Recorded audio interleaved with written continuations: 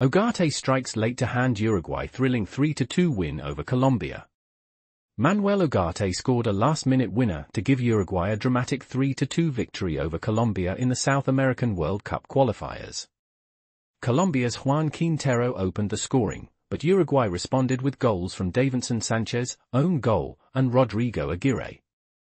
Andres Gomez equalized for Colombia in stoppage time, but Ugarte's late goal secured the win, ending Uruguay's four-game winless streak and placing them second in the standings.